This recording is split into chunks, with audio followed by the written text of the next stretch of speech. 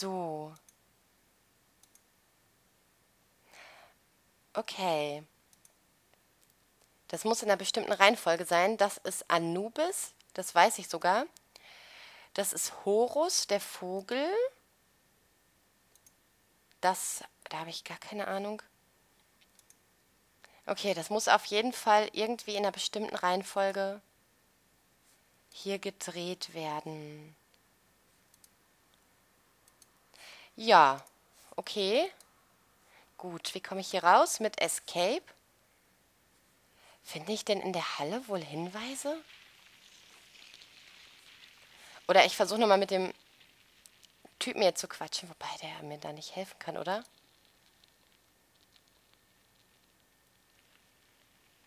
Oder nachher mit dem... Constable Oliver hat das Herz am rechten Fleck. Aber ich könnte mir fähigere Begleiter vorstellen. Alles klar, Robert? Oder haben die Mumien Sie schon erwischt? Haha.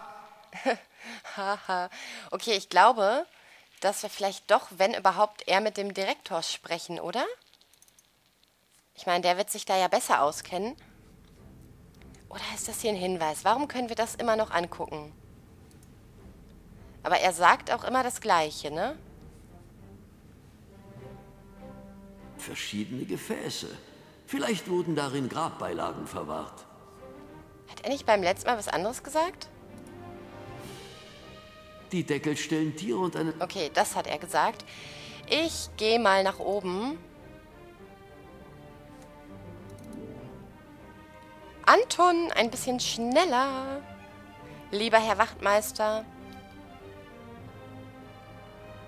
Ich überlege jetzt schon gerade, was es da mit dem Rätsel auf sich haben könnte, aber ich habe keinen Plan. So.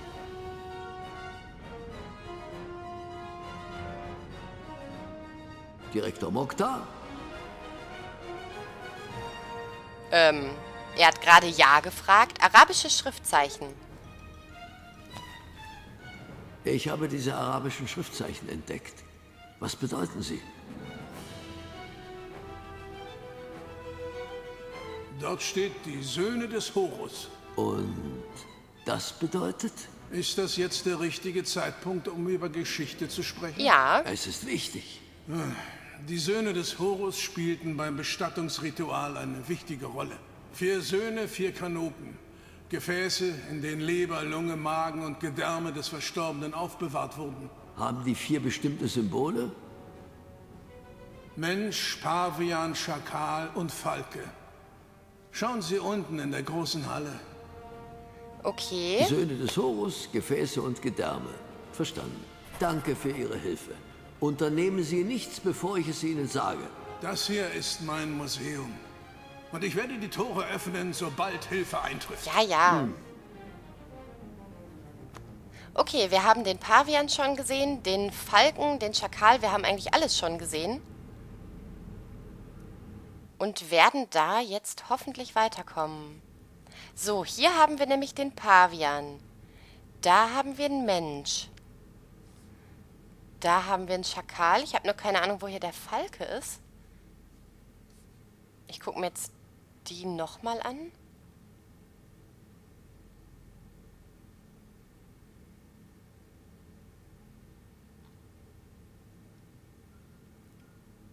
Das müssen die Kanopen sein, von denen der Direktor gesprochen hat. Ein Gefäß für jeden der vier Söhne des Horus. Ach, jetzt erkenne ich das auch erstmal. Natürlich soll das hier der Falke sein und hier ist der Schakal. Es sind wirklich nur die damit gemeint. Gebersenuef, Gedärme. Aha. Okay.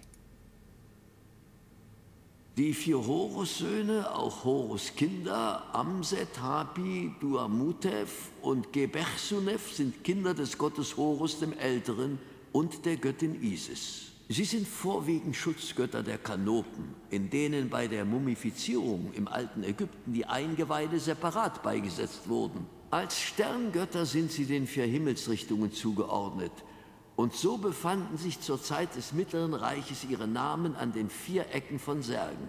Aha, vier Söhne, vier Himmelsrichtungen. Okay, das ist ja schon mal ganz interessant.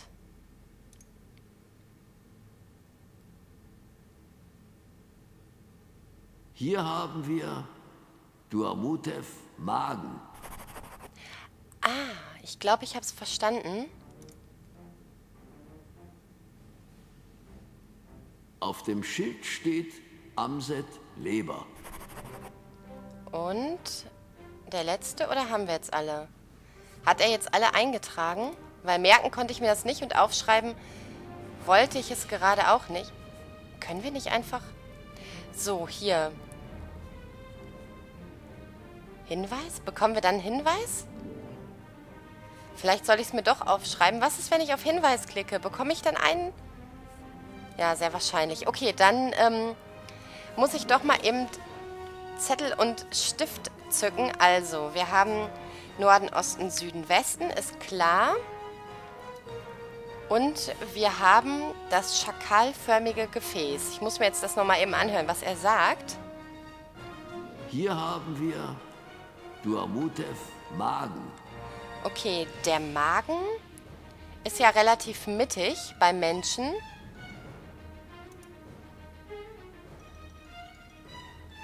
Auf dem Schild steht Amset Leber. Leber. Ist die Leber... Ich glaube, die Leber ist... Ist sie rechts oder links? Ähm... Ich schreibe mal eben kurz auf. Leber. Das hier können wir uns nicht angucken. Achso, dann haben wir die beiden noch übrig.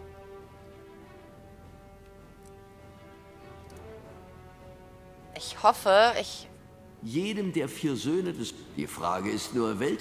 Ja, ja, das ist die Frage. Also, Moment. Ähm, Magen, haben wir gesagt, ist der Schakal. Und Leber war Mensch. Jetzt habe ich noch die beiden übrig. Ich habe keine Ahnung, warum ich mir die nicht näher angucken kann. Aber ich probiere das Rätsel jetzt einfach irgendwie zu lösen. Also ich hoffe, ihr... Ihr habt das wahrscheinlich kapiert. Natürlich habt ihr das kapiert.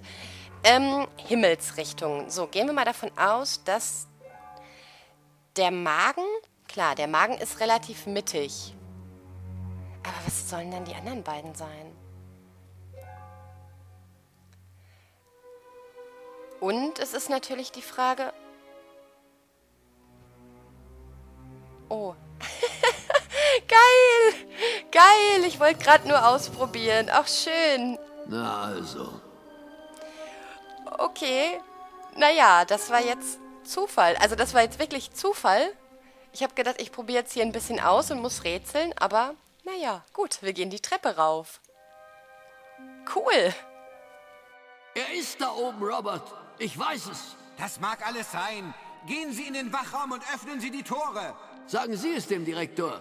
Zellner, tun Sie es nicht. Es ist zu gefährlich. Ich lasse mich nicht aufhalten. Jetzt nicht mehr. Oh. Äh, mindestens 200 Stufen. Und noch eine Leiter. Der Arme. So, wo sind wir denn jetzt hier gelandet? Irgendwo auf dem Dachboden? Fangen wir doch einfach mal bei der Funkanlage an. Weitere Überbleibsel aus dem Krieg, würde ich sagen. Und warum auch nicht? So hoch über der Stadt. Das ist der perfekte Ort für eine geheime Funkstation. Können wir die irgendwie bedienen? Nee, ich glaube nicht. Im Sommer müssen die Temperaturen hier oben höllisch sein. Momentan ist es aber erträglich. Ach, das ist ja gut. Können wir ihn einschalten? Er würde wahrscheinlich nur Staub aufwirbeln. Okay. Schubladen. Betrachte den Stuhl. Der ist bestimmt sehr wichtig. Dieser wunderschöne Holzstuhl. Der Stuhl ist als einziger Gegenstand nicht vom Staub bedeckt. Oh. Es sieht so aus, als hätte noch vor kurzem jemand drauf gesessen. Hier sind zwei Handschellen befestigt. Unangenehm. Wurde hier jemand verhört? Der Rabe? Wenn ich nicht irre? Warum treten Sie nicht ins Licht? Oha. Ähm, ich habe jetzt gerade gar nicht drauf geachtet, ob man das an den Schuhen oder so erkennen konnte. Ist das wohl der Gebhard? Aber der ist ja eigentlich nicht der Rabe. Oder ist das der Mr. Inch, also der Butler? Oh Gott, ich habe keine Ahnung. Oder ist es der Professor? Ich sag jetzt einfach der Butler. Ich sag einfach der Butler. Mr. Inch. Erstaunlich. Ganz erstaunlich. Ich dachte, der junge Legrand würde mein gefährlichster Gegenspieler sein. Was? Doch wie es scheint, hätte ich mich vor dem Alter in Acht nehmen müssen. Was? Errungenschaft freigeschaltet Spürnase. Bitte? Ich bin jetzt, ich bin jetzt gerade hier total ähm, schockiert. Explosion im Zug. Mord an der Baronin. Was ist mit dem Mord an der Baronin? Hatten Sie damit auch etwas zu tun? Der Tod der Baronin war nie Teil des Plans. Dr. Gebhardt hatte eine Rechnung mit ihr offen und kam mir in die Quere. Die Tresorschlüssel waren Ihnen egal? Ich hatte nie vor, das Auge aus dem Tresor zu stehlen. Ich wollte immer hier im Museum zuschlagen. Was ist mit Gebhardts Geständnis? Eine nette Idee, finden Sie nicht? Sie hält mir den Inspektor vom Leib. Zumindest für einige Stunden, bis das ganze Kartenhaus zusammenbricht. Okay. Ist er jetzt. Ist er jetzt wirklich der Rabe? Warum wollten Sie das zweite Auge hier stehlen? Das Auge lag lange in Zürich in der Bank. Unmöglich, da heranzukommen. Dann der Tresor auf dem Schiff. In Legrands Kabine. Zu kompliziert. Ich erfuhr vom Geheimkeller unter dem Museum und konnte in Erfahrung bringen, wie das Sicherheitssystem funktioniert. Ursprünglich wollte ich den großen Auftritt heute Abend bei der Gala, aber nun ja, die Ereignisse forderten eine Änderung des Zeitplans. Nicht zuletzt ihretwegen, mein schnüffelnder Freund. Also damit hätte ich jetzt echt überhaupt nicht gerechnet, einfach weil es so, ja, so offensichtlich, weil es doch immer irgendwie der Gärtner oder der Butler ist. Und die Bombe im Zug? Wollten Sie uns alle umbringen? Ich wusste, dass Legrand sich nach der Nummer in London an meine Fersen heften würde. Er ist ein gefährlicher Mann, Herr Zellner. Er hätte mich schon einmal fast erwischt. Und das ist Grund genug für einen Mord? Es war nicht mein einziger Grund. Auge um Auge, Wachtmeister Zellner. Okay, er ist also wirklich der Rabe. Wie war das alles möglich? Wie haben Sie im Zug die Nachricht auf den Tresor gelegt? Woher wussten Sie, dass Gebhardt die Baronin ermordet hatte? Und die Sprengladung unter der Schatzkammer? Wie, wie konnten Sie all das schaffen? Selbst wenn Ihr Arm nicht taub ist. Oh, er ist es, glauben Sie mir. Ich brauchte in der Tat Hilfe. Einen Laufburschen, der Beine und Arme für mich ersetzte. Ein Laufburschen? Ah, Adil. Was? Das verspricht interessant zu werden. Er ist sehr talentiert, aber auch unzuverlässig. Er hat seinen eigenen Kopf, eigene Pläne, nicht wahr, Adil? Ich wollte nie, dass Blut vergossen wird. Aber es ist Zeit für eine Ausnahme.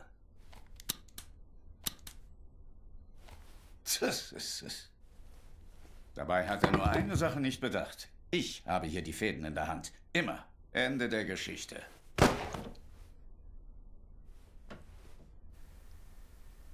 Hallo, Hilfe? Wie krass.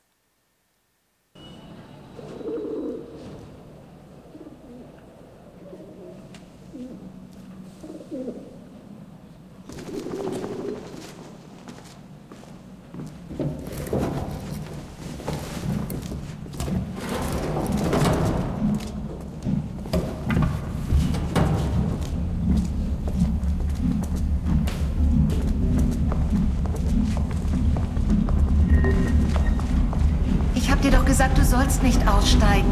Was, wenn der Zug ohne dich weitergefahren wäre? Dann arbeiten Sie also bald als Arzt auf einem Schiff. Ich bin schon gespannt, wie das sein wird. Ich bin nicht gerade eine Wasserratte. Wenn Sie auf dem Schiff mal im Wasser stehen, muss irgendetwas erheblich schiefgegangen sein.